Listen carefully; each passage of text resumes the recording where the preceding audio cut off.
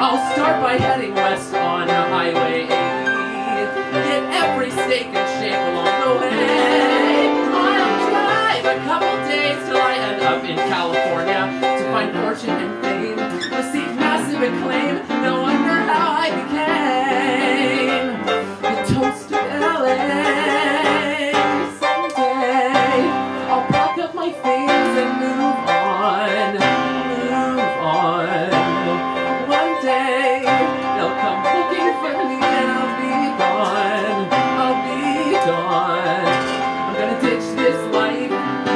ever return. And I won't look back, and I'll finally learn how it feels to be handed my piece of the pie.